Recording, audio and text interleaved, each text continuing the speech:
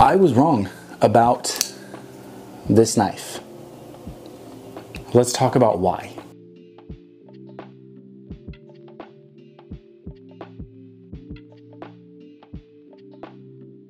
What's going on guys? Zach back here with another video. If this is your first time on the channel, please hit that subscribe button, leave a like, and if you have been here before, welcome back. Yes, from the intro of this video, I was wrong about the Benchmade bug out. Sort of. And that's what I want to talk about today, of why I might have been wrong about this knife. And previously, from about six, seven, maybe eight months ago, of my beef with Benchmade. Uh, I'll leave a link to that video down in the description, but let's talk about my thoughts on it currently. So in the previous video, I said that the bug out was completely overrated. No one should ever buy it. And especially at the $170, $180 price point that it is right now, it is completely and totally overpriced.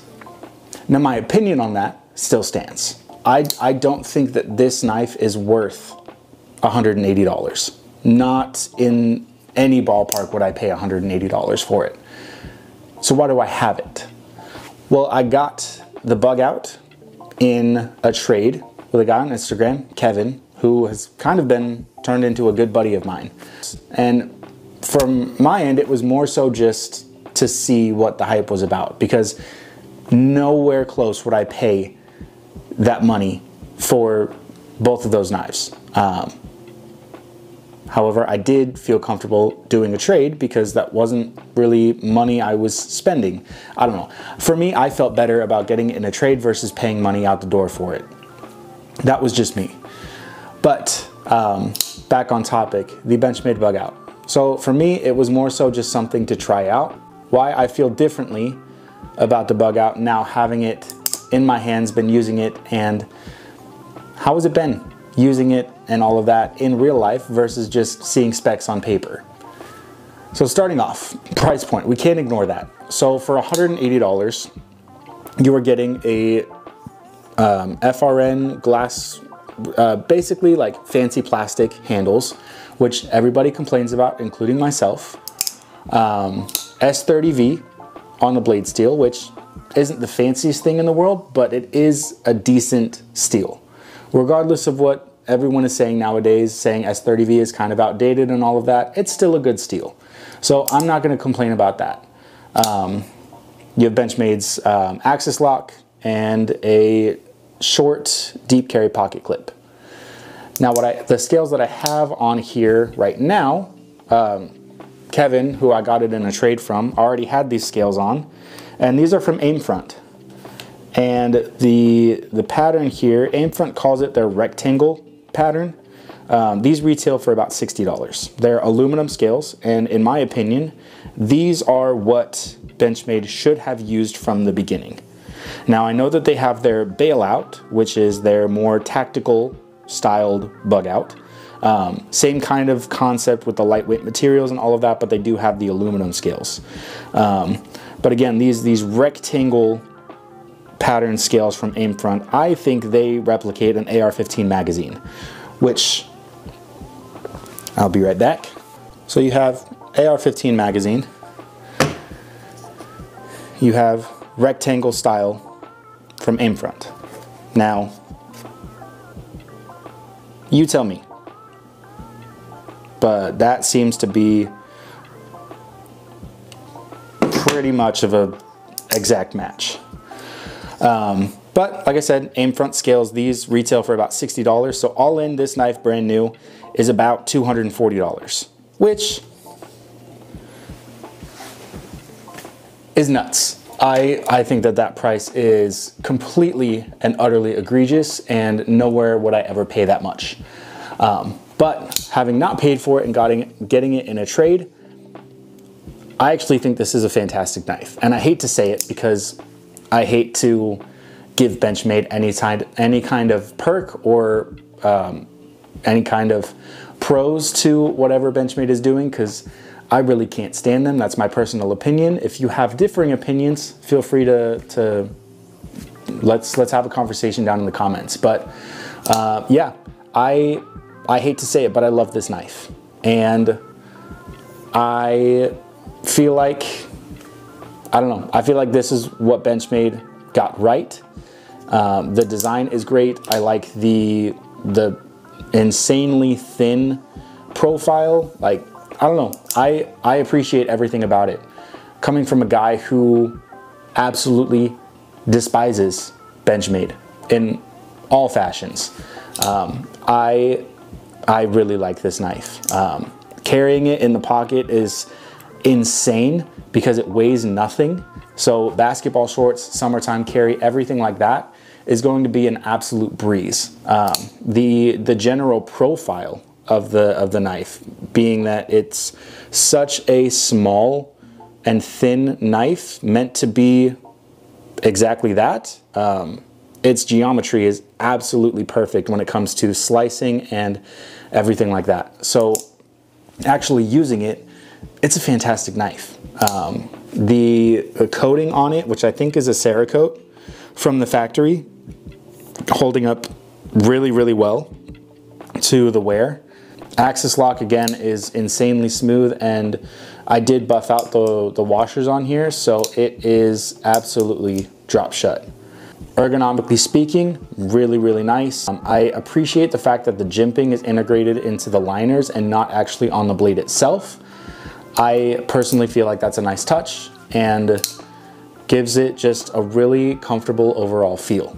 Let's get into some alternatives to the Benchmade bug out. That if you don't want to spend the $180 base on the bug out, what can you buy that's going to give you basically an equivalent to the performance of the bug out. Well, first off is what I got before I even had the bug out and what made me pretty much anti bug out in general. And that's going to be the Kizer Drop Bear. And the Drop Bear has a very similar profile to the bug out. If we have it out here, it's basically one for one when it comes to dimensions. Um, the, the scales are shaped a little differently, um, not insanely differently. The biggest difference is going to be the blade shape, um, the, the Benchmade being a drop point and the Kizer being a spear point. So the tip of the drop bear comes direct in line with the pivot versus the bug out sort of follows the spine a little bit. Um, now let's talk about the drop bear. Now the drop bear from factory has a anodized black aluminum handle scale, which is perfect. Uh, deep carry pocket clip, which is similar to the bug out. You do have full steel liners. So if that's your preference, you want full steel liners, um, the drop bear has you covered. Um, 154 cm steel, so a little bit of a downgrade, but still in that similar, you know, mid-tier category when it comes to steels. I don't think S30V is a super steel, but it's also not budget. It's kind of riding that middle ground, which 154CM does as well. But you still have a relatively thin blade profile and with Kizer's clutch lock, and what I appreciate about Kizer is they actually send you a spare set of hardware, including Omega Springs. So out of the box with Kizer, you get an extra set of Omega Springs and the clutch lock by Kizer is adjustable. So the spring tension you can actually set to three different levels between a low tension, a medium tension, and a high tension. And I think that is really, really nice to see from the factory. And as well, um, it is riding on bearings. So whatever your preference is, um, you can either go with Kizer with the bearings, and this knife I believe comes in at around $100. So this version right here on Amazon right now is $120. And the nice thing about Kizer and the Drop Bear is they have so many different configurations. I think last time I checked there was about seven or eight different configurations for this knife. You have a, in the, with you want still the aluminum handles, they do have a gray aluminum with a satin blade. And they also have a couple varying options of micarta and um, blade options as far as black or satin. They also have um, a bunch of different fat carbon handle scales with varying steels. You can get um, S35VN, you can get Elmax, you can get, I think they have an S45VN now. Um, so you can get more premium, and I think those range up to about $200 for the, the fancier versions. Uh, you can get a titanium and LC200N drop bear for 160. For the fat carbon and Elmax, you're looking at 220. For the fat carbon and 20 CV, you're looking at 198.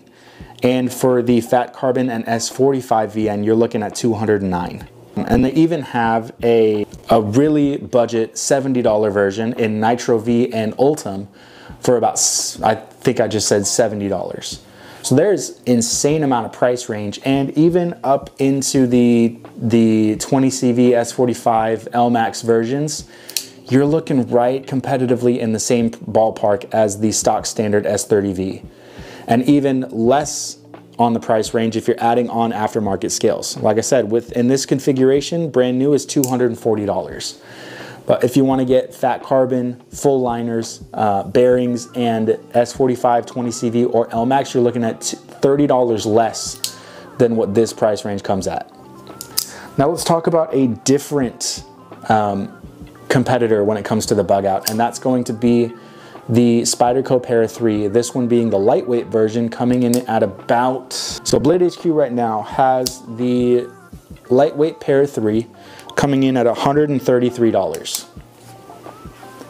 Now $133, that comes in about $50 less than the bug out. You're getting still the, the reinforced nylon handle scales, so still that sort of plastic. I think Spyderco does a little bit better of a job with their FRN handle scales than Benchmade does, my personal opinion. Um, you do have a wire deep carry pocket clip and what sets this one apart differently than the bug out is the front side here actually there is no liner it's just all FRN and the only steel you have on the front side here is going to be the lock itself that is the only steel inside of the the lightweight Para 3 is just the the compression lock. Other than that, there is a steel insert on this side, so the, the show side, um, for the washer to sit on. And then on the other side, I believe it is just the plastic. So you're, you have a washer on one side, plastic on the other, and then just the compression lock on the internals. So pretty simple when it comes to um, Internals here, this one is the CTS BD1N steel. And coming from Spyderco, you know it's gonna have uh, dead on uh, perfect heat treat as Spyderco typically nails their heat treat on uh, every single steel that they offer. And this one is gonna be in the either a bead blast or a stone wash. I can't really tell. I think it's a bead blast because doesn't really have the same stone washing that my other Para 3s do. But this is also another option. Um, as far as competitive price goes, you're looking at $50 less. Uh, similarly-ish comparable steel. Um, same general makeup as far as internals and weight goes. And yeah, the Para 3 is honestly just one of my all-time favorite carry knives. You get really good ergos when it comes to handle placement and then just a phenomenal blade shape and blade profile thanks to the massive flat grind. There's also the Hogue Deka, which I don't have in the collection, but that is the usually the top tier competitor when it comes to the bug out. And that one comes in either 20CV or MagnaCut, and I think that's just about it when it comes to competitors for the bug out. But honestly, let's get back to it. This knife just is good. And I hate to say it, it's a good knife. It's well built, it's got a great design. It's got good intentions behind it, being geared to light, no frills, no extra added weight to the pocket. You know, just your basic, simple pocket knife. And I think that's the big draw to this knife is it is a no frills, no fancy anything knife. And that is Benchmade's pretty much, for the most part, has been their appeal for a long time is a no frills utility built knife. And again, I hate to say it, but Benchmade, you did good on this one.